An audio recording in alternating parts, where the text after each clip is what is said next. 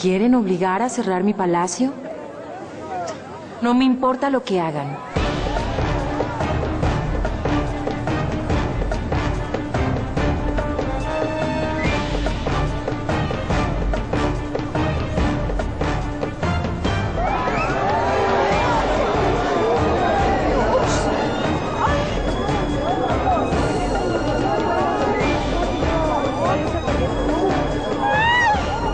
Es el colmo de la inmoralidad.